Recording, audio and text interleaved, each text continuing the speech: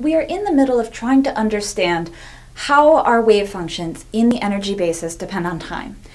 And we got to this step in the previous video where we now have these c sub i, are individual coefficients that depend on time for our different energy eigenstates.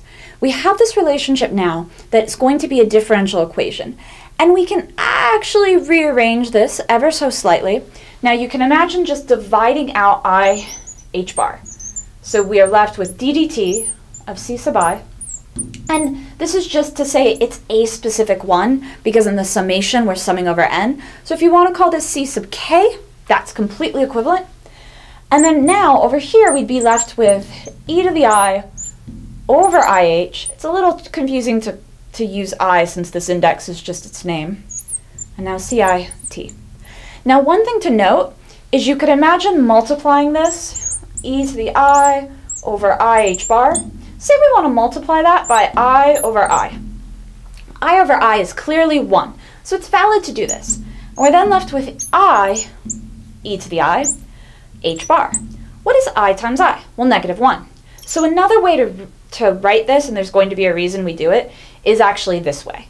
So we're going to write this as negative um, e to the i, i over h bar few different ways to write it, super valid. Okay, now, what we're going to do here is just call, for the sake of this looks complicated, we have this index notation that some of you might not be very familiar with, we have a complex number. Let's, let's try to simplify this a little bit. So let's call this f of t. This is a function of time. It's not a vector function, might be a complex function, um, but somehow this has a functional dependence. So this is also f of t, right? Same thing. Over here, we're taking its time derivative. Let's call this thing, let's leave the minus sign, let's just call this k. And notice that in this case, k can be com is complex. So k is a complex number, and uh, that's going to be okay. So now when I rewrite this, I have d dt of f of t, some function, is equal to negative k f of t. So this is a fairly simple differential equation. If you haven't had differential equations, guessing and checking is a completely valid approach to use here. You just have to make sure that you've guessed something general enough. Um, if you have had differential equations, then in fact you know that guess and check is a completely valid approach.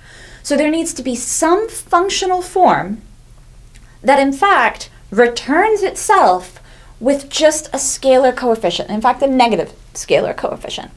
So the point being, let's just guess that f of t, oops, sorry, f of t is equal to, say, uh, let's have a coefficient out front Let's have that coefficient be capital A, and then say t squared. Well, when I then have df dt, that equals 2a t. So we've lost a factor of t. So the point being that we need to actually get back that functional form. If we had any polynomial, it would not work because you're always changing what that power is. So this is bad, it's not that. Now let's just guess another function.